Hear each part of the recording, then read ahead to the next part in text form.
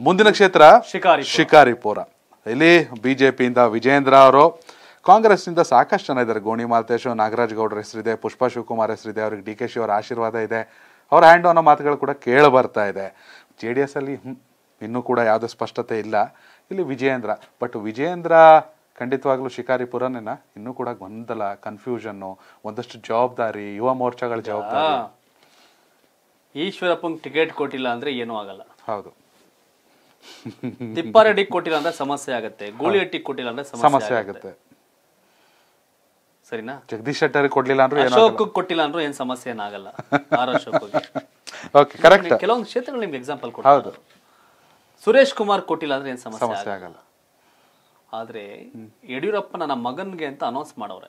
ಯಡಿಯೂರಪ್ಪನ ಮಗನ್ ಟಿಕೆಟ್ ಕೊಟ್ಟಿಲ್ಲ ಅಂತಂದ್ರೆ ಬಿಜೆಪಿ ನೂರ್ ಇರುತ್ತೆ ಗೊತ್ತಾ? ವಿಜೇಂದ್ರಗೆ ಶಿಕಾರಿಪುರದಲ್ಲಿ ಟಿಕೆಟ್ ಮಿಸ್ ಅಂದ್ರೆ ನೂರ ಐವತ್ತಾಯ್ತದೆ ಹ್ಮ್ ಹ್ಮ್. ನೂರೈವತ್ತಲ್ಲ ನೂರಿದ್ದಿದ್ದು ಐವತ್ತಾಯ್ತದೆ.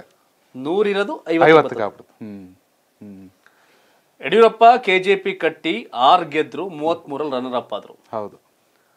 ಆದ್ರೂ ಅವ್ರು ಕೆ ಆರ್ ಪೇಟೆ ಗೆಲ್ಲಕ್ಕಾಗಿರ್ಲಿಲ್ಲ ಅವ್ರ ಜೀವಮಾನದಲ್ಲಿ. ಹ್ಮ್. ಆ ಕೆ ಆರ್ ಪೇಟೆ ರಿಸಲ್ಟ್ ತಂದು ಕೊಟ್ಟದ್ದು ವಿಜಯೇಂದ್ರ. ನಿಜ. ತಂತ್ರ ಪ್ರತಿತಂತ್ರ ಕುತಂತ್ರ ಎಲ್ಲವನ್ನೂ ಮಾಡಿದ್ರು ರಾಜ್. ಏನ್ ಕ್ಲೀನ್ ಕೃಷ್ಣಪ್ಪ ಅಪ್ಪ ಅಯ್ಯೋ ಕೈಯೋ ಕಾಲ ಕಟ್ಟು ಓಟ್ ಹಾಕ್ಸ್ಬಿಟ್ರು? ಇಲ್ಲ. ಎಲ್ಲ ಏನ್ ಮಾಡ್ತಾರ ರಾಜಕಾರಣ ಮಾಡಿದ್ರು ಇವ್ರು ಹೊಸ ರಾಜಕೀಯ ಶೈಲಿಲಿ. ಕೆ ಆರ್ ಪೇಟೆ ಗೆಲ್ಸಿದ್ರು.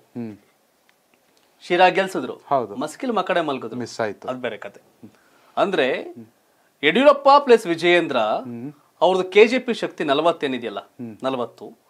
ಅದನ್ನ ಮೀರಿ ವೈಯಕ್ತಿಕವಾಗಿ ವಿಜೇಂದ್ರ ಇಪ್ಪತ್ತು ಕಡೆ ಶಕ್ತಿ ಬೆಳೆಸ್ಕೊಂಡವ್ರೆ. ಹೌದು. ಅವ್ರದ್ದೇ ಆದಂತ ಒಂದು ಶಕ್ತಿಯನ್ನು ಇಟ್ಕೊಂಡವ್ರೆ. ಅವರು ಇನ್ನೊಂದು ಸ್ವಲ್ಪ ಈಗ ಹಳೆ ಮೈಸೂರು ಭಾಗದಲ್ಲಿ ಶಾಲೆಗೆ ಓಡಾಡ್ತಾವ್ರೆ. ಮಂಡ್ಯದಲ್ಲಿ ಮೊನ್ನೆ ಯುವ ಸಮಾವೇಶಕ್ಕೆ ಅವರೇ ಇನ್ಚಾರ್ಜ್ ಅವರೆಲ್ಲ ಇದು ಹಲವು ಮೋರ್ಚಾಗಳ ಕಾರ್ಯಕ್ರಮಗಳಿಗೆ ಅವರಿಗೆ ಸಂಚಾಲಕರು ಕೂಡ ಹೌದು. ಎರಡನೇದೇನು ಅಂತಂದ್ರೆ ಯಡಿಯೂರಪ್ಪಗಾಗ್ಲಿ ವಿಜೇಂದ್ರಗಾಗ್ಲಿ ಏನಾರ ಎಡವಟ್ಟು ಮಾಡಿದ್ರೆ ಡಮರ್.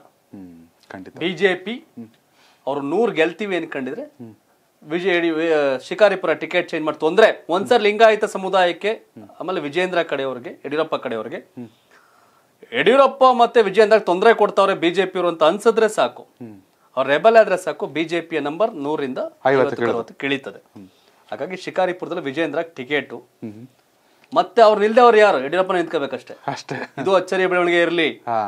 ಕರೆಕ್ಟ್ ಆಗಬಹುದು. ಆದರೂ ಆದ್ರೆ ಶಿಕಾರಿಪುರದಲ್ಲಿ ವಿಜಯೇಂದ್ರ ಅವರು ಗೆಲ್ತಾರೆ ಲೀಡ್ ಅಲ್ಲ ಗೆಲ್ತಾರೆ ಲೀಡ್ ಲೆಕ್ಕ. ಲೀಡ್ ಎಷ್ಟು ಅಂತ ಲೆಕ್ಕ ಹಾಕಬೇಕು. ನಿಜ. ಶಿವು ನೀವು ಯಡಿಯೂರಪ್ಪ ಪರ ವಿಜಯೇಂದ್ರ ಪರ? ಜೆ ಡಿ ಎಸ್ ಪರ.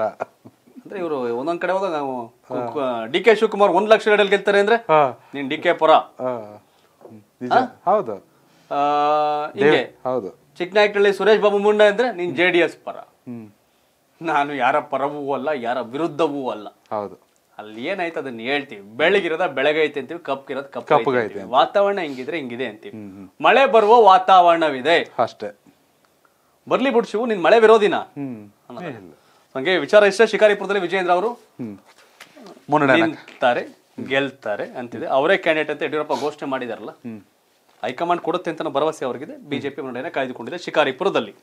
ಮನೆ ಮಂದಿಯೆಲ್ಲ ಪ್ರತಿದಿನ ಜೀನಿ ಮೊಳಕೆ ಕಟ್ಟಿದ ಕಾಳಿನ ಪೌಡರ್ ಆಹಾರ ಸೇವಿಸಿ ಡಬಲ್ ಎನರ್ಜಿ ಪಡೆಯಿರಿ. ಯಾಕಂದ್ರೆ ಮೊಳಕೆ ಕಟ್ಟಿದ ಕಾಳಿನ ಆಹಾರ ದೇಹಕ್ಕೆ ಹಂಡ್ರೆಡ್ ಪರ್ಸೆಂಟ್ ಪೋಷಕಾಂಶ ಒದಗಿಸುತ್ತೆ.